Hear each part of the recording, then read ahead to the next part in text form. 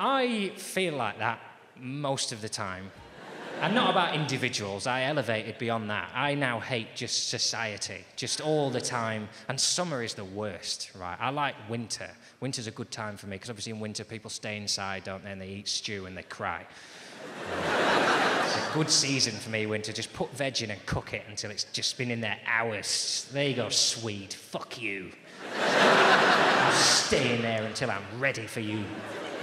Too tired to chew now. It's November. Chewing was June. Now I just need mush to shove in this thing so I don't die.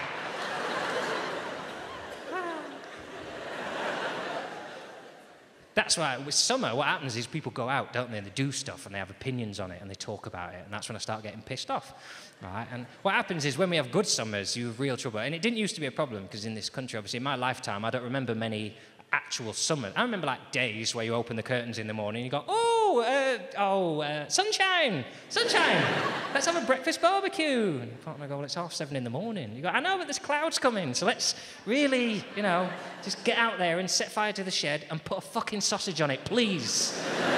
Because look, oh, it's raining now. It doesn't matter. that was summer. It was fun. That one, wasn't it? Now, the last couple, you had like days where you open the curtains on Monday and it's sunny, and it's sunny all week. And that's dangerous. You know you're in trouble because you turn the weather on and the weather people are outside showing you the weather. If they were indoors, you wouldn't believe them, right? But they have to be outside. You switch the weather on and Carol's there going, hello, um, I'm looking outside in a field, you know. That's, look at the time and look at your time. It's happening now, this.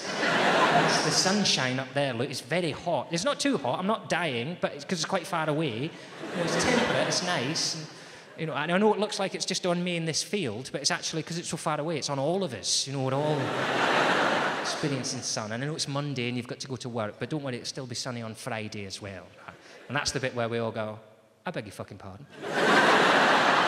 still sunny on Friday, is it? When I go out and get shit faced. You tell me I can get shit faced outside now, are you? And I can email people now, and that will happen, will it? Shit faced outside on Friday. Right, I'll start emailing everyone.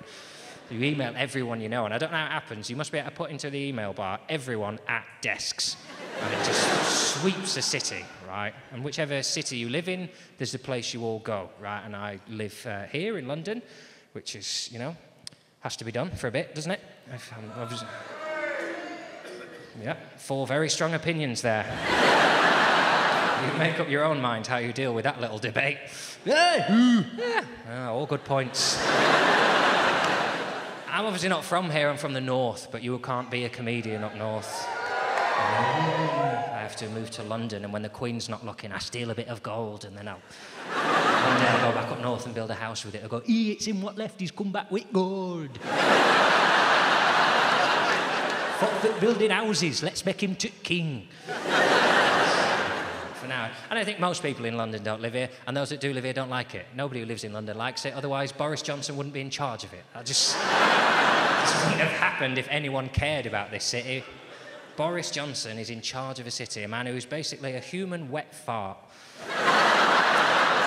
I mean that because he's very much like a wet fart. He's very funny at the time, but you have to check for damage immediately afterwards.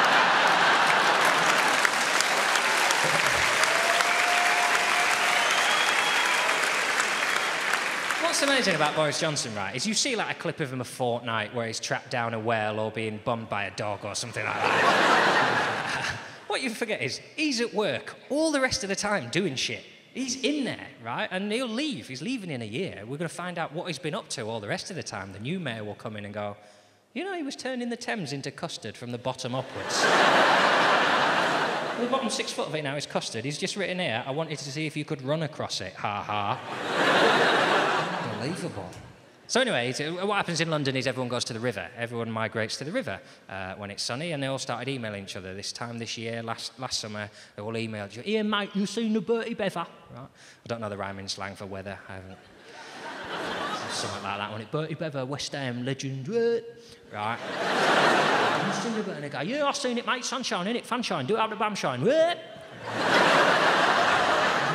coming down the river then Friday night, five o'clock, get shit faced and go, no, no, fuck that, mate, four o'clock, four o'clock, work through lunchtime, four o'clock, yeah, nice one, that was a bananas, two for a pound, yeah.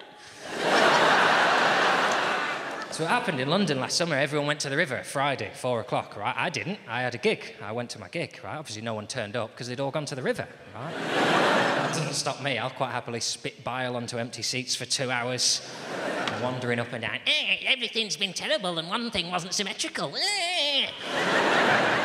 Come out of the gig. I get to Waterloo at about 11 o'clock at night. I just want to go home, right? And that's when I realise the carnage that has happened across London. A whole city pissed more so than any stag do I've ever seen in my entire life. And you can tell that because there were no groups of two people, right? No two people are sober enough to walk in tandem with another person. People are just drifting off, like grown men just smashing into train station walls because they've seen Harry Potter and they think one. One will open up to that magical world where there's that girl where she's not old enough in the films, but she is now, so it doesn't count. I saw her doing that speech on feminism. I thought, fucking right. Blood all down themselves. People's limbs have stopped working. They're just dragging themselves across the floor, hoovering up chips. Ooh. and more to the point, the trains are heaving because nobody's left London all day, right? So there's a train there that is full in a way I've only ever seen in documentaries in the third world. You know, where there's like one train a year, and if they don't get on it, they don't feed their family. So they're on the roof and they're in the coupling. That's happening at Waterloo Station. Grown adults hanging onto the outside of trains, waiting for them to leave. And the police there saying, I'm afraid you can't travel like that, mate. And these sober people, you'd say, oh, God, yeah, tunnels and that. Kill myself, what now? what am I like? Not piss people. You fuck off, pig. Touching the train, I'm on the train.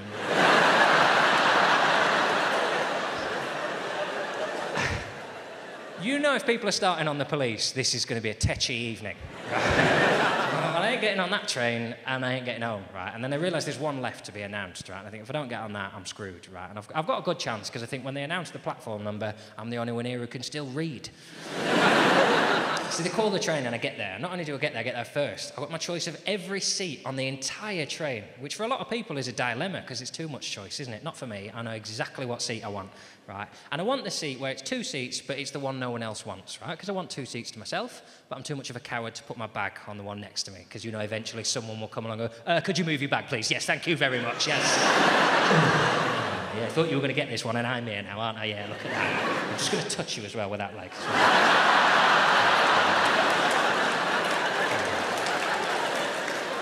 Because I am the. Uh, that's my armrest. That's mine. that shitty half a one under the window there.